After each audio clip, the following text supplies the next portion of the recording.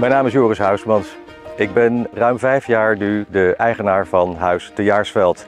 Ik heb deze hele bijzondere en historische buitenplaats vijf jaar geleden uh, aangekocht omdat ik op zoek was naar een anker.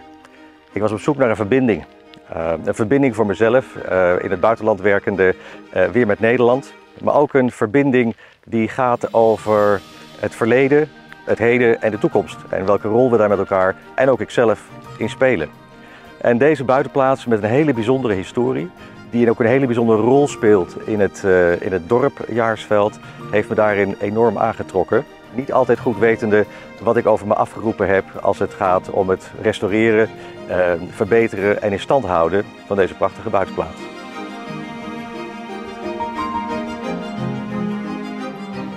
Wat betreft de waarden en het belang van de buitenplaats Huis de Jaarsveld, uh, denk ik aan verschillende elementen.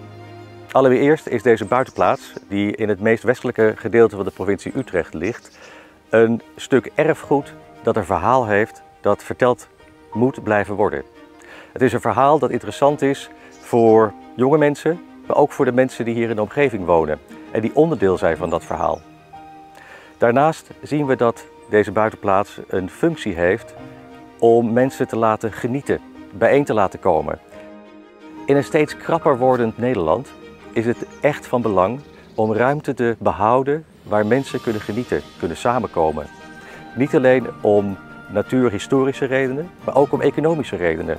Het Huis de Jaarsveld is ook een werkgever voor mensen hier uit de buurt. We ontwikkelen nieuwe zaken in de tuin eh, en we voegen op deze manier ook weer iets toe aan eh, de ontwikkeling van de buitenplaats.